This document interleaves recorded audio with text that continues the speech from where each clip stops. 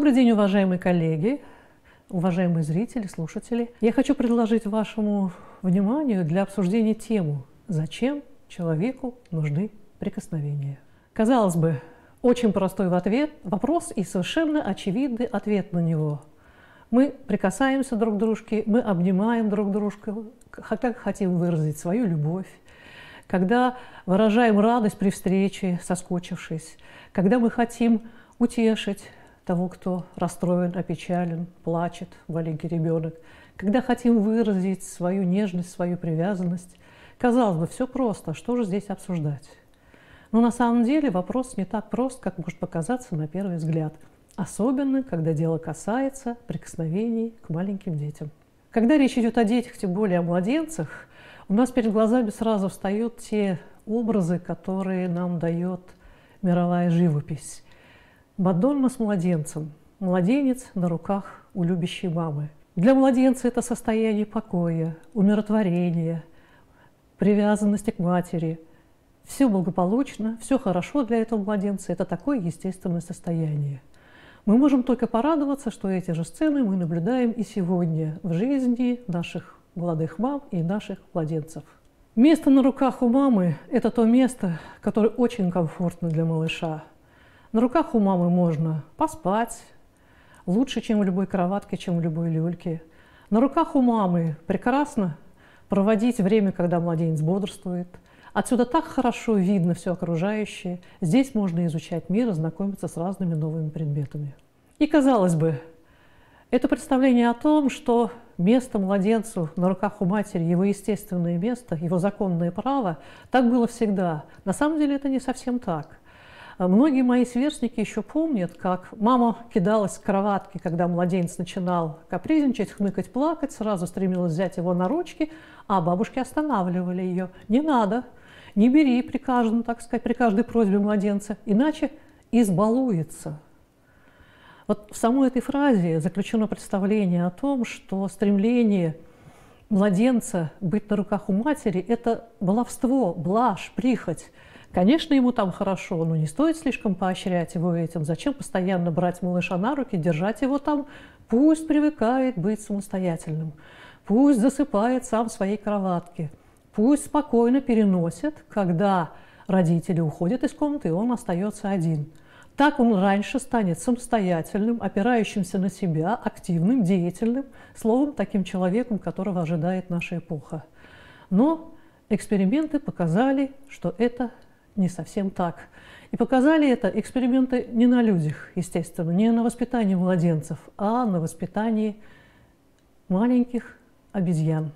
Это были эксперименты Харлоу, которые э, кардинально изменили представление о том, зачем человеку нужно прикасаться к другому человеку и зачем взрослым нужно прикасаться к малышу.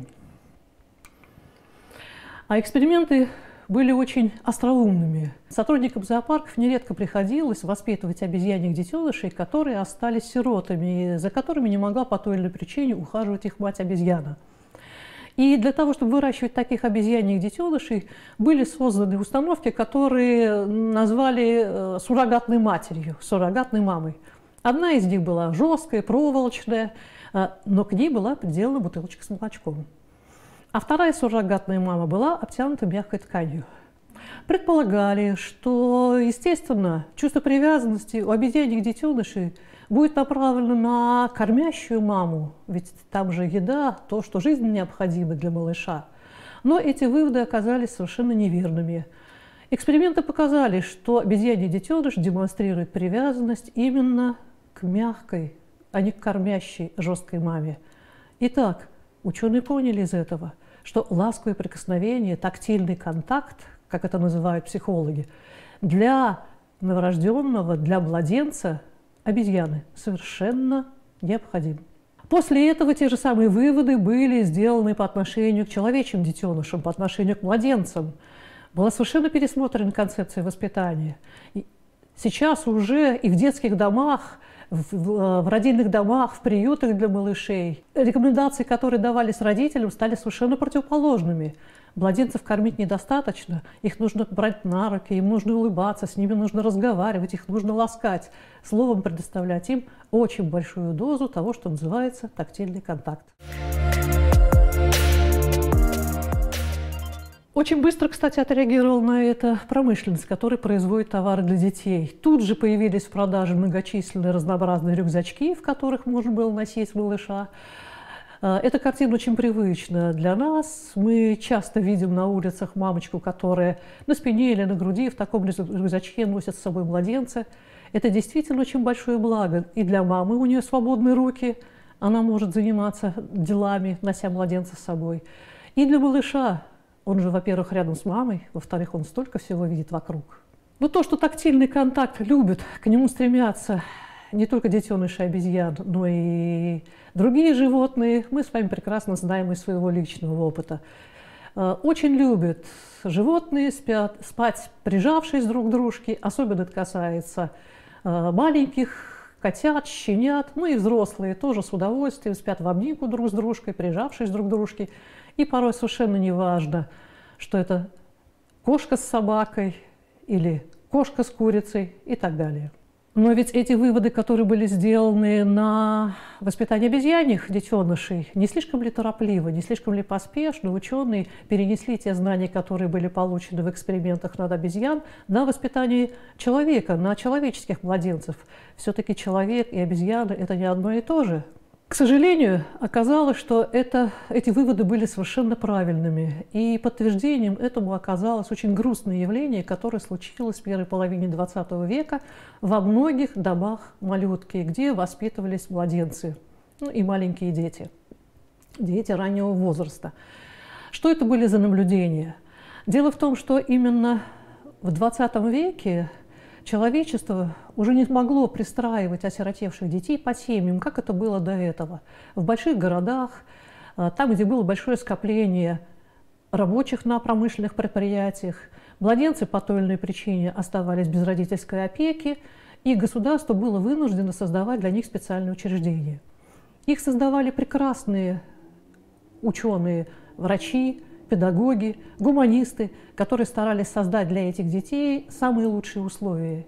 Дети были всегда сыты, всегда ухожены, они находились в чистоте, в теплых, комфортных помещениях. Словом, имели все то, что далеко не всегда имеет младенец, который воспитывается в семье где-нибудь в рабочей окраине. И, казалось бы, развитие этих детей должно было пойти вперед семимильными шагами, но все происходило совершенно иначе – эти детки начинали грустить, у них появлялись признаки настоящей депрессии. А, они не только не, не, не развивались дальше психически и физически, а иногда наблюдался настоящий откат, да, тот, кто ползал, переставать ползал, тот, кто ходил, переставал ходить и так далее. Более того, дети начинали терять в весе, у них появлялась какая-то странная болезнь, и эти детки нередко умирали. Смертность в этих домах малютки была такой высокой, что эти дома прозвали фабриками ангелов. Да, мы знаем, по христианским представлениям в ангелов превращаются души умерших младенцев. Для этого нарушения появилось даже специальное название – госпитализм. То есть комплекс тех нарушений, которые происходят с малышом, когда он отделен от матери и не имеет возможности с ней общаться – Искали причину этого заболевания. Сначала, естественно, предположили, что дело в инфекции. А, и для того, чтобы избежать эпидемии, младенцев разделили на отдельные боксы, и они еще более изолированы стали от общения с, э, ну, с персоналом, который за, них, за ними ухаживал. И, казалось бы, ситуация должна была улучшиться, а она только усугубилась. И совершенно неожиданным образом было найдено решение, которое подсказали э, в разных местах э, сотрудники этих учреждений, которые умели выхаживать детей, заболевших госпитализмом. Они делали очень простую вещь. Скажем, нянечка в одном из приютов брала младенца, привязывала ее к себе на груди или на спине, в каком-нибудь платке, в шале, и младенец все время находился рядом с ней, пока она выполняла все свои остальные служебные обязанности. И младенец даже спал с ней, чувствуя прикосновение, так сказать, этого, этого человека рядом с собой. И, о чудо, спустя какое-то время младенец начинал улыбаться, у него появлялась появлялся аппетит, он начинал набирать в весе, начинал нормально психически и физически развиваться и выздоравливал. Эти наблюдения позволили сделать совершенно ошеломительные выводы и подтвердить правильность данных экспериментов Харлоу над обезьянами. Человечий младенец также нуждается в ласковом физическом прикосновении. Это не прихоть, это не просто удовольствие, это не блажь, которой его легко и безболезненно можно лишить. Это предмет жизненной необходимости для младенца. Госпитализм – это очень грустная траектория развития малыша. Но а как же развивается младенец в норме, если он получает достаточное количество внимания, ласки, заботы от окружающих его взрослых? Уже где-то на третьей неделе, чуть раньше, чуть позже, у малышей начинают появляться первые признаки того, что в психологии названо комплексом оживления. Наверняка многие из вас слышали это название, оно сейчас стало очень популярным, и это правильно, потому что это действительно чрезвычайно важное явление в развитии младенца. Что такое комплекс оживления, из чего он складывается? Во-первых, младенец начинает фиксировать взгляд на взрослом. Он смотрит на него так пристально, так внимательно, как он не смотрит ни на один самый яркий, звучный, неожиданный и новый предмет. Так пристально вглядывается младенец только в лицо взрослого человека. У него появляется радостная улыбка в ответ на радостную улыбку, приветливое выражение лица взрослого, или даже тогда, когда он просто видит склонившегося над ним взрослого авансом предварительно – у младенца возникает оживление, он начинает сучить ножками, ручками, весь выгибается, вытягивается навстречу взрослому. У него появляются разнообразные звуки, гуление, вскрики. Словом, радостное оживление младенца показывает, он невероятно рад тому, что взрослый оказался рядом с ним, он очень хочет с ним общаться. И психологи не случайно придает такое большое значение появлению комплекса оживления. Для, для психологии это означает очень важную вещь. Комплекс оживления – признак того, что у младенца появляется самая первая по-настоящему человеческая форма активности, по-настоящему человеческая потребность, а именно потребность в другом человеке – это не просто потребности организма, как те, которые преобладали до сих пор. Это уже, собственно, человеческая потребность. И активность, которая вызывается этой потребностью и которая называется непосредственно эмоциональное общение. Почему эмоциональное, понятно, потому что здесь идет взаимный обмен эмоциями между ребенком и взрослыми. Почему непосредственное, тоже понятно – у него пока еще нет никаких специальных культурных средств, там вроде языка или там каких-то принятых жестов для того, чтобы выразить свои мысли, чувства, свое состояние. Он просто радуется общению со взрослым, купается в нем. Вот очень большой вклад в изучение того, что такое общение младенца и как оно развивается, внесла замечательная советская исследовательница Майя Ивановна Лисина – ее работы внесли колоссальный вклад в представление о том, что является важным для развития общения малыша, с одной стороны, а с другой стороны, какое значение само общение имеет для его психического развития в целом. Вот один из замечательных экспериментов Майи Ивановны и ее коллектива я бы хотела вам рассказать. А, все мы знаем, что в детских домах, особенно так было раньше, в домах малютки, а, персонала было все-таки не так много, как, наверное, хотелось бы. Не было ситуации, когда на каждого малыша, находящегося там, приходится один взрослый или даже несколько взрослых, как это бывает обычно в семье. И эксперимент, который проводил коллектив, а, заключался в следующем. Две группы младенцев были выделены. В одну из них приходили общаться несколько раз в неделю психологи. Что значит общаться? как можно общаться с малышом, которому несколько недель. Так же, как общается с ним любящий взрослый. Улыбаться ему, гладить его, брать на ручки, ласково с ним разговаривать, специальным голосом, которым взрослые разговаривают с детьми, с очень дружелюбными интонациями, прикасаться и так далее.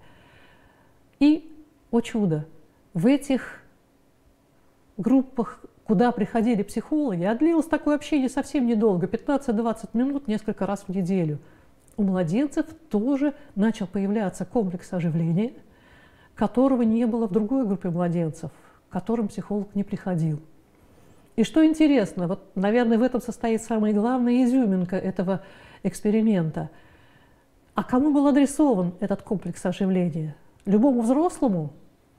Тому персоналу, который 24 часа в сутки находится рядом с малышами и ухаживает за ними, кормит их, купает, пеленает, заботится об их чистоте. Увы, комплекс оживления был адресован тому, кто общался с младенцем, тому, кто улыбался, тому, кто разговаривал, тому, кто брал на руки, тому, кто ласково прикасался. Кстати, и в семьях нередко бывает так.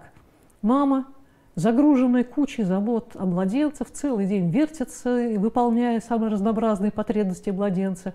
И поэтому времени на то, чтобы спокойно пообщаться с ним, посидеть около него, почирикать, у нее иногда не остается. Особенно раньше, пока не было памперсов, и мамы еще и стирали целый день мокрые детские пеленки. Приходит с работы вечером папа, берет радостно младенца на руки – улыбается, сюсюкает, 10-15 минут с ним общается, прежде чем перейти к другим своим делам. И как рад этому младенец. Мама ревниво говорит, что такое безобразие, я тут целый день с ним. И он не радуется мне так, как радуется он тебе. Ну, психологи объясняют, конечно, это логично. Младенец радуется и общается с тем, кто радуется ему и общается с ним. Поэтому Тактильный контакт, который составляет очень большую долю общения с младенцем, ласковые прикосновения, массаж, э, объятия, все то, что делают любящие взрослые, это не просто что-то приятное, это вещь, которая для его психического развития жизненно необходима. На этом мы заканчиваем первую часть нашей беседы.